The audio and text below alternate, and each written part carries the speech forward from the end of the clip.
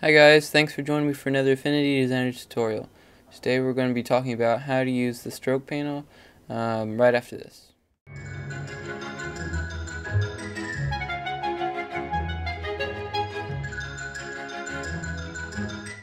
Okay, let's plunge right into um, learning how to do the stroke panel. So um, I'm going to show you how to get the stroke panel onto your panel uh, um, center place where all these panels are.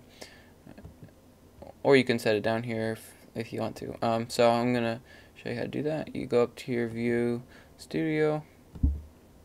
Probably already know how to do this. Um, you go down to Stroke and you click on Stroke and here it is. So let's set it up here.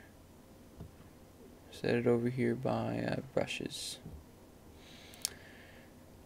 So here's your stroke panel and um, Today we're going to be experimenting with this uh, honey design layout type thing and uh, and so we're going to be experimenting with this uh, um, little outer edge dotted line um, rectangle thing. So I'm going to click on the layer and um, we're going to come up a little bit.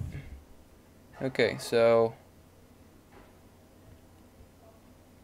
First I'm going to show you um, how to use it from another place. You can either use it here or you can use it here. It pops up with your dotted line right here, your dotted line uh, um, pattern right here. Um, you can just, usually I keep mine on color, so if you just want to keep it on color, um, you can just click on here. That's This is what I usually use, but if you want to have it over here, you can. So um, so first I'm going to show you uh, what you can do with this dotted line since it's already on dotted line. Um, you can change the width, width of course, and uh, make it bigger.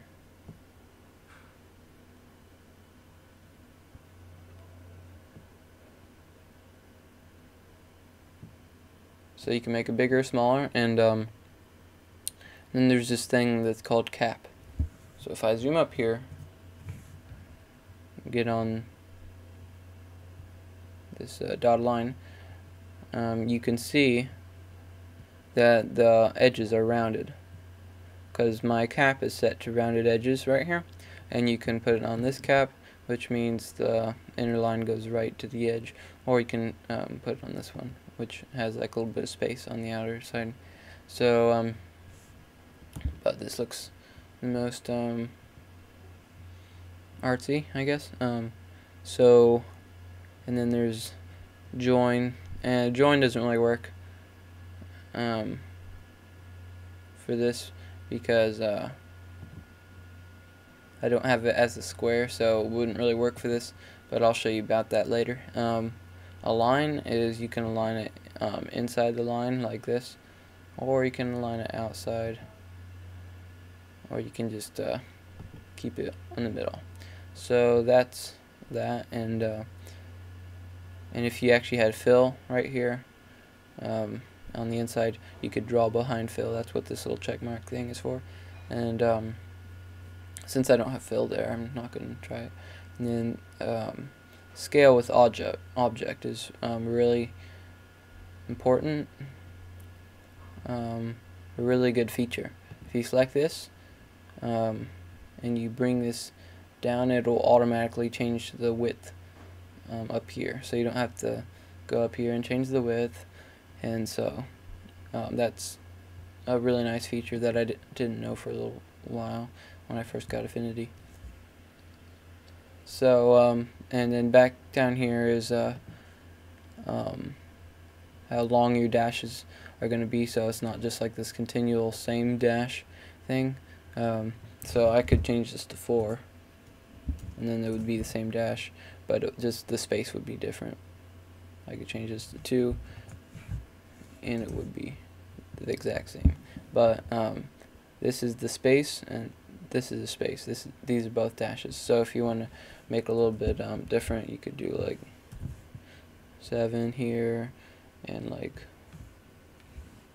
5 here or 5 here. So sort of make it look random.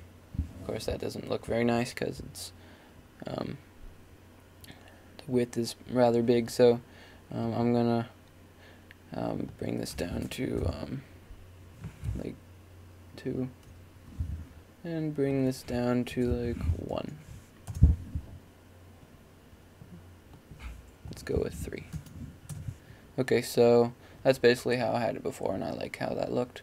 Um, and then you can, uh, depending on where it starts, you can uh, adjust it to wherever you want for sort of switch like pushes it down the line a little bit so. That's helpful.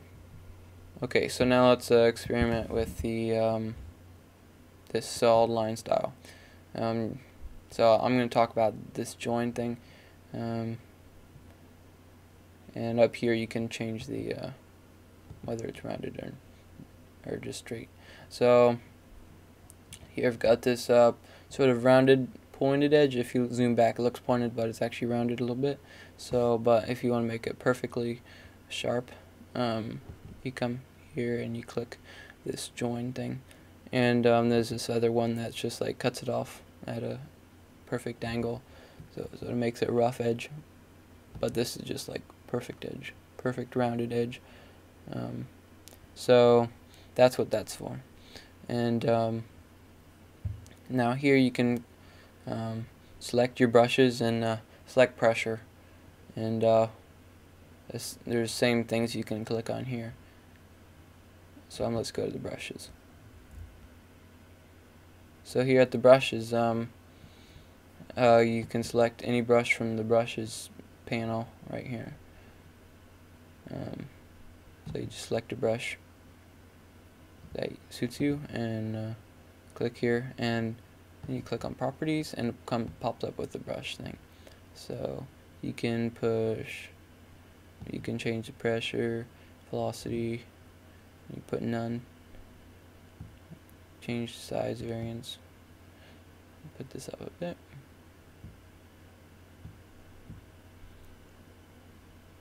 Okay and um, um, and change the pressure a little bit. You can change the pressure like crazy. It makes it look really weird. But I'm just gonna um, have a nice even one. That looks good. So um, I'm gonna close this. And with this, it's really cool. You can do pressure. So I'm gonna zoom out here. To zoom out, you uh, push um, Command minus or plus on the uh, Mac. I don't know what it is for the Windows, but um, so you can uh, bring this down, and then you uh, make pressure less pressure in the middle. See how it sort of gets thick on the ends, and um, more pressure out here than at the ends. That would probably be more realistic but you sort of have to do like a steep a steep steep drop. So I'm gonna change it real quick here. And that makes it look a little bit more uh, real I guess. Um, so pressure is very nice. Um, so um, you have to actually click on brushes to um, change brushes but um, so that's basically the only thing that it that isn't very nice about it. Um, you don't you can't like click on whenever you click on properties you can't select different brushes here or whatever. But um, I think that's fine. Um, so so yeah, you can get on here and um, and this thing also is for if you don't want any outline at all, of course. Please share this video with your friends and uh, um, maybe subscribe if you um, want more Affinity Designer tutorials. Um, so uh, thanks for watching.